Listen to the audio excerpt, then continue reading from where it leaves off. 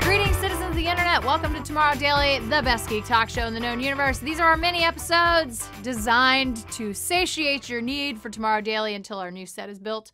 But enough of that. Let's hit the headlines. Researchers working for Boeing have developed a material that is 100 times lighter than styrofoam, and they're finally showing off that process in a new video. Oh, and by the way, that material, it's actually made of metal. HRL Laboratories developed this material. It's a microlattice that they compared to your bone structure, so rigid on the outside, but generally hollow on the inside, meaning it would be lightweight, but also really hard to crush. The material itself is 99.99% air, and the wall thickness of the hollow tubes that make up the microlattice are a thousand times thinner than a human hair, which is pretty futuristic stuff. Possible applications for this metal microlattice include Boeing's own airplanes or maybe even cars because HRL Laboratories works with General Motors. Uh, now, going from earthbound travel to up in space, robots may someday help astronauts aboard the ISS. This robot is the Besman AILA.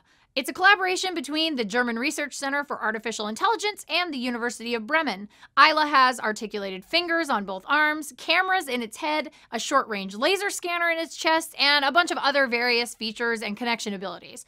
Now, the idea here is to train the robot to complete menial tasks on board the ISS, freeing up astronauts to complete tasks that either require human intuition or maybe a task that requires two human operators. They're still working really hard on AILA, and they're not quite ready yet to tackle things like microgravity and how AILA would get around. But we may see a demonstration via a simulation of the International Space Station sometime in the near future.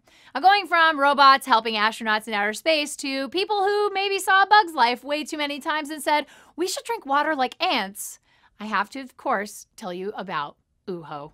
This is Ooho, an edible water bottle that looks and handles like a palm sized water balloon. It was created by London based startup Skipping Rocks Lab, who says this delivery method for water is easy and cheap to make, hygienic, and most importantly, biodegradable. Well, Skipping Rocks reminds us that single use water bottles are wildly unsustainable and terrible for the environment, but Ooho's casing is made of brown algae and calcium chloride. So once you're done sucking all the water out of that beautiful little orb, you can throw it out with the knowledge that you're helping save the environment, or you can eat. Oh no. Oh no, no, no. Oh no. I'm not eating that. Let's talk about Back It or Hack It. Today's Back It or Hack It, it's the perfect product for anybody who wants to grow a micro rainforest in their home. this is called the Biopod. This is pretty cool. We're super intrigued by the Biopod. This is a self titled world's first smart microhabitat.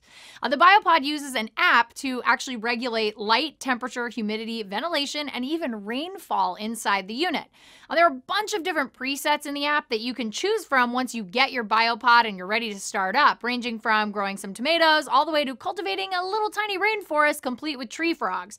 The app walks you through the setup planting of your plants, and then lets you walk away from it as it regulates the small environment to its needs. There are three models of Biopod. There's the one, which is the most basic model. There's the Terra, which is meant to be sort of a terrain. And then, of course, the Aqua, so you can actually make it a fish tank if you want, if you buy that higher end one. Uh, the Biopod 1 starts at 205 US dollars without plants. So you got to populate yourself with plants. If you want the Biopod to come with a plant starter pack, there are backer levels for that as well. Uh, they have 22 days left, and they've already surpassed their goal of 30,000 Canadian dollars by quite a bit. So if you want to back it, the Biopod looks like it's definitely going to happen. All right, guys, we've talked about crowdfunding, we've talked about the headlines. Let's take a look at your beautiful photos. Today's phone talker for the day is Reese. He took this with his Galaxy S6 Edge, and he writes to us and he says, Hey Ashley, love the show. I love the passion you bring to the stories. Really gets people excited about tech. Love it. These are a couple of photos taken on my S6 Edge of Melbourne, Australia. This is the beautiful Crown Casino flames along South Bank, as well as the view of the Eureka Tower during sunrise from my home.